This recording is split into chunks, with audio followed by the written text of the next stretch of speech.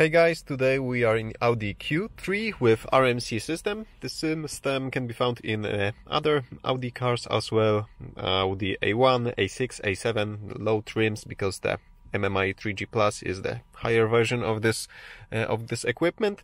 And uh, today we are going to enable and enter the hidden green menu. So over here I have OBDeleven, which is already connected to the car. You can use uh, VCDS or any other diagnostic tool that's capable capable of changing adaptation values in uh, VAG cars. So uh, over here I'm going to enter a list of all modules and I'm scrolling down to find module uh, 5F, which is the infotainment uh, system mine unit. And over here I'm looking for adaptations. And to be precise, I want to enter adaptation channel number 5. And over here we can see that the stored value is 0. The, this means that the uh, hidden green menu is not enabled. We are going to change it. So let's replace 0 with 1, test it.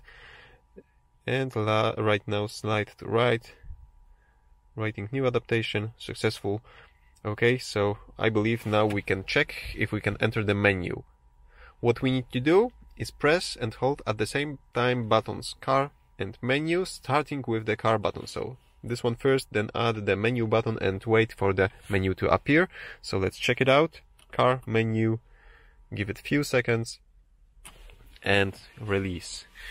We are in the green menu. Of course, in the MMI 3G Plus system, you will have much more options to customize your system over here. But in RMC, this uh, menu, even though it's uh, uh, it has a lot of submenus over here, there's not really a lot that you can do over here. So we can go, for example, to Media Player, and we can check. Um, history of uh, of playback over here we can check what media uh, sources are loaded so we have uh, uh, some kind of MP3 CD in the, uh, CD drive. We can check SD card status over here if there's SD card in uh, either of the ports and so on. And there's uh, there's a lot of diagnostic information over here which you can use if you are advanced user or you are trying to diagnose the system. You can check the system temperature. So if you have some stability issues, you can check if the system is not overheating, for example,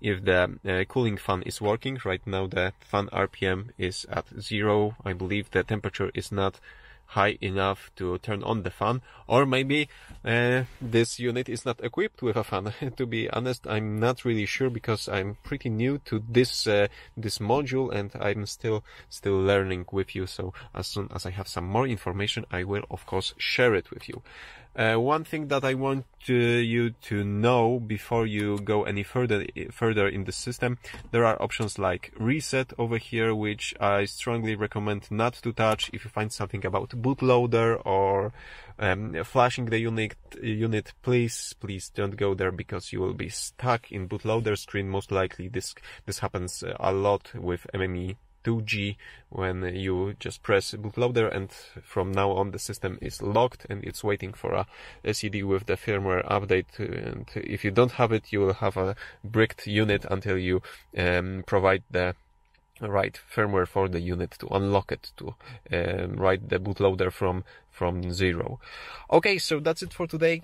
Give me thumbs up if you like this uh, short uh, tutorial. Subscribe for future ones and see you soon